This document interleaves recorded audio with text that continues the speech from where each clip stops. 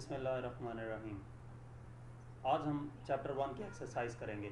सबसे पहले M C Qs हैं multiple choice question first the number of base units in S I or system international में base units कितने हैं? Three six seven nine तो base units का जो टेबल था, उसमें हमने सेवन बेस यूनिट्स पढ़े थे। दूसरा which one of the following unit is not derived unit इनमें से कौन सा डिराइव्ड यूनिट नहीं है। तो हमने ये देख लेना है कि इन चारों में से कौन सा बेस यूनिट है। अगर हम गौर से देखें तो किलोग्राम जो है हमारे पास वो बेस यूनिट है तो ये मतलब डिराइव्ड यूनिट नहीं है। इस वजह से इसको टिक करेंगे। Third amount of substance in terms of numbers is measured in amount of substance को हम किसमें मैयर करते हैं? तो अमाउंट ऑफ़ सब्सटेंस में हमने बेस यूनिट्स में पढ़ा था कि मोल में मैयर किया जाता है।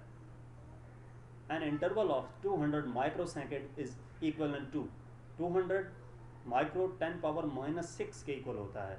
ये दो ज़ीरो हैं मतलब 10 पावर 2 और micro 10 power minus six minus six में से ये दो जब ऐड होंगे तो minus six plus two minus four रह जाता है। Two into ten power minus four second तो two into ten power minus four second इसका आंसर होगा। Which one of the following is the smallest quantity इनमें से स्मॉलेस्ट क्वांटिटी कौन सी है? तो आप अगर इन चारों को देखें तो माइक्रो इसके साथ यूज़ हुआ हुआ है। माइक्रो का मतलब होता है टेन पावर माइनस सिक्स तो इसका मतलब ये है कि सबसे स्मॉलेस्ट क्वांटिटी ये होगी। लेकिन ये बात भी ज़रूरी नहीं है कि जिसके साथ माइक्रो या स्मॉलेस्ट प्रीफिक्स यूज़ हुआ हुआ है, वही स्मॉलेस्ट क्वांटिटी होगी, ये ज़रूरी नहीं है। हमें प्रॉपर देख लेना है। आप अगर इसको मिली को देखें तो टेन पावर थ्री इधर है और टेन पावर माइनस थ्री वो तो कैंसिल होकर जो फाइव ग्राम आ जाता है, जो उससे ग्रेटर है, इस वजह से यहाँ पे माइक्रो वाला है। वो भी इसी तरह which instrument is most suitable to measure the internal diameter of the test tube internal diameter find करने के लिए हमारे पास इनमें से सिर्फ़ एक इंस्ट्रूमेंट है और वो वर्नियर कैलिपर्स है, इस वजह से इसी को टिक करेंगे। A student claimed the diameter of a wire as 1.032 centimeter using vernier calipers. Up to what extent do you agree with it? तो स्टूडेंट ने जो मैयर की है लेंथ वो ज़ीरो पॉइंट डायामीटर जो मैयर किया है वो 1.032 सेंटीमीटर है हमने ये देखना है कि वर्नियर कैलिपर का लीस्ट काउंट सेंटीमीटर्स में कितना है वो 0.01 सेंटीमीटर है तो हमने इन आंसर में से वो आंसर देखना है जिसमें पॉइंट के बाद दो डिजिट हों। तो 1.03 सेंटीमीटर इसका आंसर होगा। Eight a measuring cylinder is use to measure mass area volume level of a liquid measuring cylinder को हम वॉल्यूम मयर करने के लिए फाइंड करते हैं यूज़ करते हैं। Student student noted the thickness of a glass sheet using a screw gauge on the main scale. It, reads three divisions while eight division on the circular scale coincides with the index line. अब उसने screw gauge को use किया और main scale division कितनी है? Three vernier scale कितनी है? Eight division कंसाइड कर रही है। इसका मतलब ये है कि एट को हम लीज काउंट से मल्टीप्लाई करके थ्री में ऐड कर देंगे। लीज काउंट से मल्टीप्लाई किया तो ज़ीरो पॉइंट ज़ीरो एट आता है। उसको थ्री में ऐड किया तो three point zero eight millimeter आ जाएगा। Significant figures in an expression are significant figures की अगर आप डेफिनेशन देखें, all the accurately known digits and the first doubtful digit. तो ये सी ऑप्शन करेक्ट होगा। अब हम शॉर्ट क्वेश्चन देखते हैं। What is the difference between base quantities and derived quantities ये पहले हम चैप्टर में भी पढ़ चुके हैं। Base quantities base quantities are the quantities on the basis of which other quantities are expressed examples of base quantities are length mass time and derived quantities, the quantities that are expressed in terms of base quantities are called derived quantities. Examples of derived quantities are force, velocity, acceleration, etc. इनकी जो detail है वो आप पिछली slide पिछले lectures में देख सकते हैं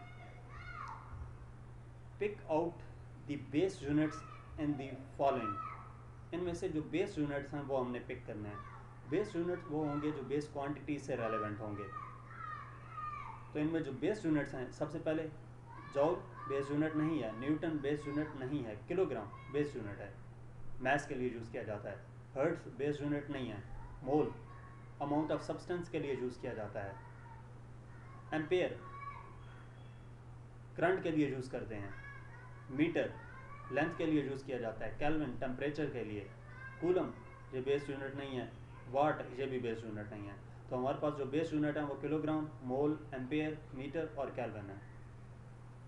1.4 find the base quantities involve in each of the derived quantities इनमें हमने देखना है कि कौन कौन सी बेस क्वांटिटीज इंक्लूड हैं। तो base quantities involve in speed speed में कौन कौन सी होती हैं? स्पीड का अगर आप यूनिट देखें तो मीटर पर सेकेंड है। तो मीटर का लेंथ और सेकेंड का टाइम तो इसमें जो दो बेस यूनिट्स हैं लेंथ और टाइम दूसरा वॉल्यूम और लेंथ ओनली वॉल्यूम के लिए लेंथ है तो इसका मतलब क्या है? मीटर। वॉल्यूम का जो ऐसा यूनिट है, वो क्यूबिक मीटर है। तो मीटर लेंथ फोर्स का unit kilogram meter per second square वो वैसे फोर्स का यूनिट न्यूटन है Newton kilogram meter per second square की इक्वल होता है। तो यहाँ पे इसका जो kilogram mass meter length second time तो इसमें तीन बेस क्वांटिटीज शामिल हैं मैस लेंथ और टाइम वर्क वर्क का unit kilogram meter per second है। तो यहाँ से kilogram mass meter length time second. तो यहाँ पे तीन बेस क्वांटिटीज मैस, लेंथ और टाइम इन्वॉल्व हैं। 1.5 estimate your age in second. तो सपोज़ करते हैं कि एज 15 इयर्स है। तो 15 इयर्स के बाद आप ये देखें कि एक साल में तीन सौ पैंसठ दिन होते हैं। एक दिन में 24 घंटे होते हैं। एक घंटे में 60 मिनट हैं और एक मिनट में 60 सेकेंड्स होते हैं।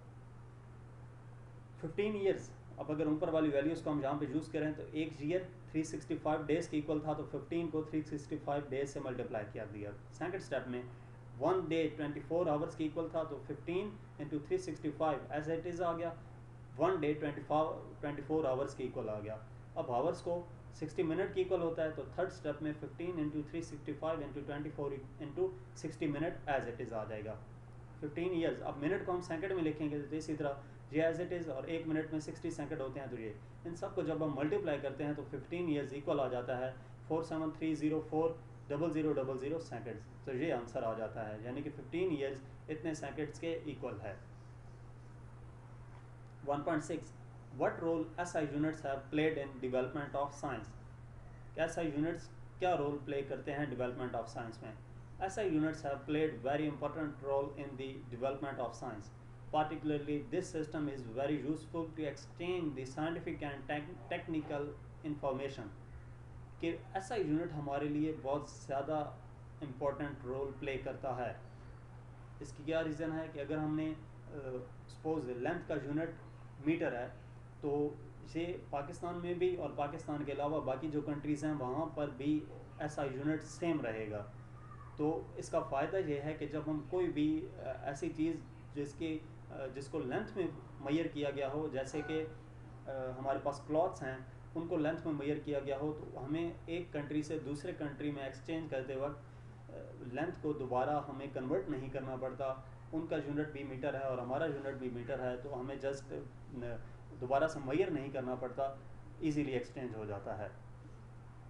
और ये सिर्फ़ लेंथ से रिलेटेड नहीं है, बाकी भी जितने भी क्वांटिटीज़ हैं, उनको मेयर करते हैं तो ऐसा unit all over the world same चल रहा है तो हमें कोई भी चीज़ इम्पोर्ट एक्सपोर्ट करते वक्त परेशानी का सामना नहीं करना पड़ता।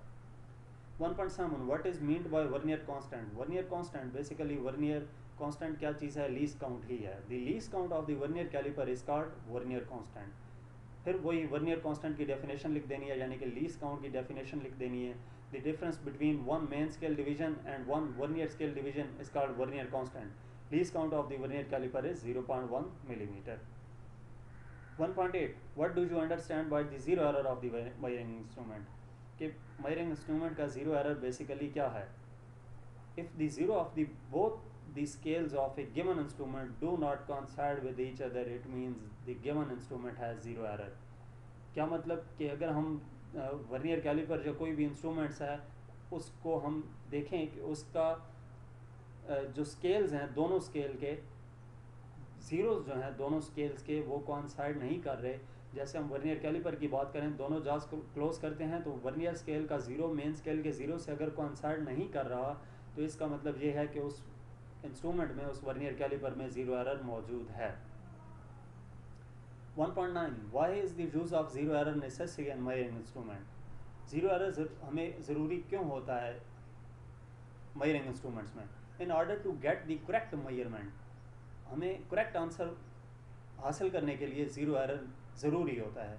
क्योंकि अगर हम एक ऐसा इंस्ट्रूमेंट जिसमें एरर ज़ीरो एरर मौजूद था, लेकिन हमने ज़ीरो एरर को इग्नोर करते हुए उसकी मदद से हमने रीडिंग नोट कर ली तो वो एग्जैक्ट रीडिंग नहीं आएगी जब तक हम उस पर ज़ीरो एरर फाइंड करके ज़ीरो करेक्शन अप्लाई नहीं करते थे। 1.10 what is a stop watch what is the least count of mechanical stop watch stop watch क्या होती है? stopwatch is use to measure the interval of an an stop watch को हम use करते हैं किसके लिए? टाइम इंटरवल किसी भी इवेंट का टाइम इंटरवल फाइंड करने के लिए। जैसे सपोज़ रेस है तो रेस कब स्टार्ट हुई? जब स्टार्ट होती है स्टॉप स्टार्ट का बटन स्टार्ट कर देते हैं और जब uh, जो खिलाड़ी हैं वो भागते हुए फाइनल लाइन क्रॉस करते हैं तो वहाँ पे हम स्टॉप का बटन प्रेस कर देते हैं। तो इस एरिए से हमें पता चल जाता है कि उस इवेंट की टोटल ड्यूरेशन कितनी थी। The least count of mechanical stop watches 0.1 second तो 0.1 सेकंड मैकेनिकल स्टाफ आज का लीज काउंट होता है। तो यहाँ तक हमारी एक्सरसाइज थी। इसके बाद जो लास्ट क्वेश्चन है, इस एक्सरसाइज का 1.11 why do we need to measure extremely small interval of time कि extremely small interval of time हमें क्यों चाहिए होता है? क्यों हम मैयर करते हैं? In order to get the more exact result we need to measure extremely small interval of time कि extremely small interval of time measure करने के लिए हमें ज़्यादा मैयर इसलिए करते हैं कि हमें एक्यूरेट रिज़ल्ट चाहिए होता है। अच्छा इसके बाद 1.12 है। What is meant by significant figures of a measurement significant figures से क्या मुराद है? सिग्निफिकेंट फिगर्स की डेफिनेशन लिख देनी है all the accurately known digits and the first doubtful digit in an expression are called significant figures for example 0.002070 has four significant figure जहाँ पे four लिखना है F O U R two zero seven zero ये चार digits हमारे पास significant figures हैं। बाकी ये जो ज़ीरो हैं, ये डेसिमल स्पेसिंग के लिए यूज़ किए गए हैं। 1.13 how is precision related to significant figures in a measured quantity, precision. More is the number of significant figures when the measuring instrument used has smaller the value of its least count कि हमारे पास ज़्यादा significant figures होंगे तो इसका मतलब ये है कि जो वैल्यू हमारे पास होगी when the measuring instrument used has the smaller value of its least count मतलब ये है कि जितनी स्मॉल लीस्ट काउंट होगी उतने ही ज़्यादा नंबर ऑफ़ सिग्निफिकेंट फिगर्स होंगे और इसी तरह लीस्ट काउंट स्मॉल होगा तो इसका मतलब क्या होगा? कि लार्ज वैल्यू ऑफ़ प्रिसीजन होगी। तो ये हमारी आज की एक्सरसाइज थी इस चैप्टर की। मज़ीद लेक्चर्स के लिए मेरे साथ रहिए।